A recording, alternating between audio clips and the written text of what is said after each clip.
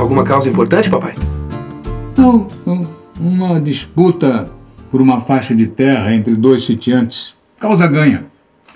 Embora meu cliente tenha razão, eu vou propor que faça um acordo com a outra parte e lhe ceda um pedaço do terreno em litígio. Por que, papai? Se a causa ganha? Oh, meu filho, use o bom senso. O bom senso.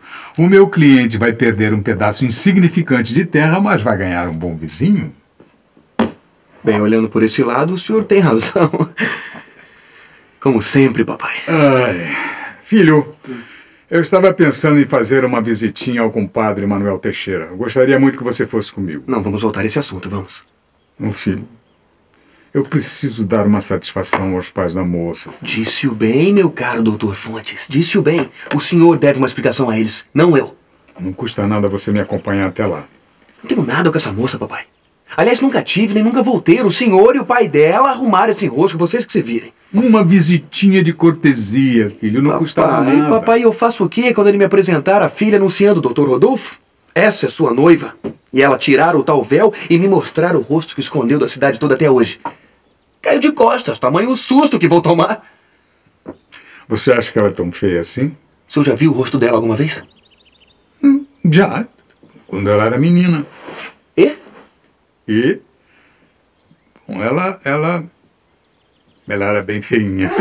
pois então está fora de cogitação, papai. Ah, meu filho, e eu faço o quê? Vou lá e digo ao pai da moça que você não quer honrar o compromisso que eu estupidamente assumi em seu nome.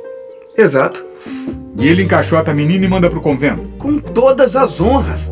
E eu vou morrer de remorso por ter deixado a situação chegar no ponto que chegou.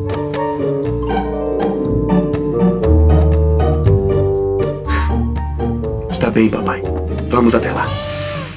Eu sabia que podia contar com você. Mas com uma condição. Qual? Vamos antes à fazenda do Barão de Araruna fazer uma visita de cortesia. Ao Barão? Sim.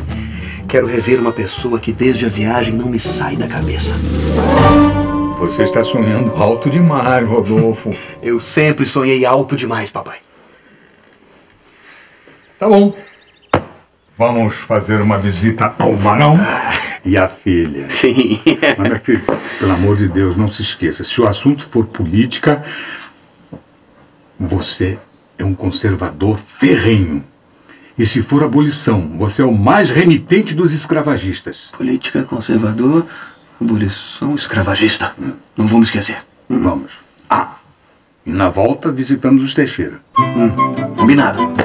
Então vamos. Vamos, vamos, vamos, pai. Vamos, vamos, vamos, vamos, vamos, vamos, vamos, papai. Vamos pressa, papai. E então? Brilhante artigo, Augusto. Porém, audacioso demais. Hum, eu fico imaginando o Barão de Araruna lendo esse artigo. Com certeza vai mandar fechar a sua tipografia, meu caro. Mas tudo que está escrito aqui é a mais pura verdade. Mas ninguém está dizendo o contrário. Everaldo, nenhum homem tem o direito de dispor de outro homem a seu bel prazer.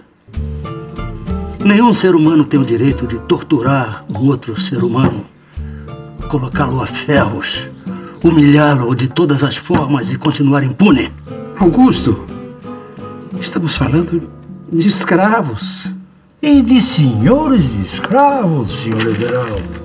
Senhores de escravos como o Barão de Araruna. Eu não sei, eu não sei. Talvez o Dr. Fontes tenha melhor condição de opinar. E prever as consequências. O seu artigo, Augusto, o seu artigo, de uma certa forma, atinja todos nós. Se bem que na minha fazenda o tronco já tenha sido abolido há tempos. Na minha também. Meus escravos são tratados como se fossem gente. E são gente, senhor Coutinho. De corpo e alma, como todos nós. Não estamos discutindo isso, Frei José. Somos todos tão abolicionistas quanto o senhor. Nós temos terras para cuidar, café para colher. Precisamos de braços para isso.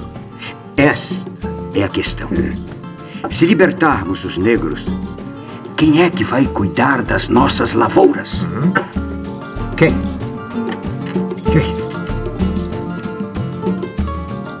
Augusto, não adianta. voltamos sempre ao mesmo ponto.